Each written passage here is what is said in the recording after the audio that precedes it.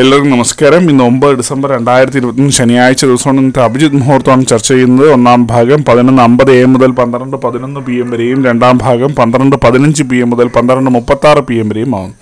അഭിജിത് മുഹൂർത്തങ്ങൾ പൊതുവായിട്ടുള്ള എല്ലാ ശുഭാർമ്മങ്ങൾക്കും ഉപയോഗിക്കാമെന്ന് ആചാര്യന്മാർ അഭിപ്രായപ്പെടുന്നു. എല്ലാവർക്കും ഒരു നല്ല ദിവസം ആശംസിക്കുന്നു. നന്ദി.